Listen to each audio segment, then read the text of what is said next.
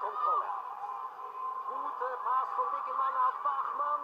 Und jetzt das 1-0! Ja! Das erste Tor